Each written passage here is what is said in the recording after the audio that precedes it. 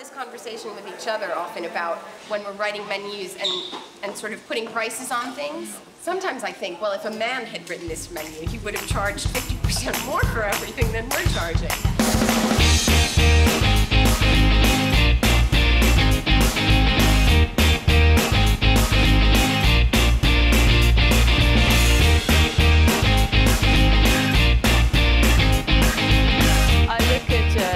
The greatest female chefs, and a lot of people don't even know who they are. Like, I don't know, many people don't know who Carmen Ruscalleda is, and she's a three Michelin star chef. just looking at this very sort of specific idea of what you think a restaurant is.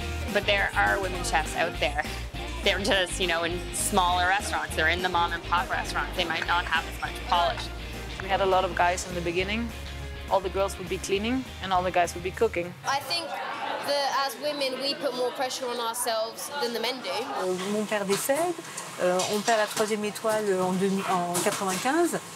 Et, et là, j'ai pas le choix. C'est soit je mets la clé sous la porte, soit j'y vais, soit je m'implique, soit je, je donne mes tripes, so- soit il n'y a plus de maison en fait.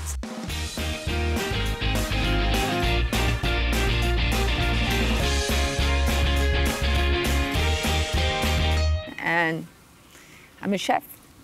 No, no. Lo único que falta que fue parada. Tipo, esta película es un video que la vemos en todos lados y está Pablita así.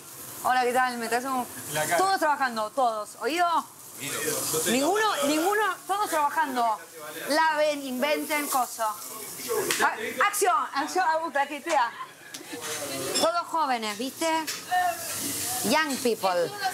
Todos hombres, young people. No, the pastry chef is woman. Juli.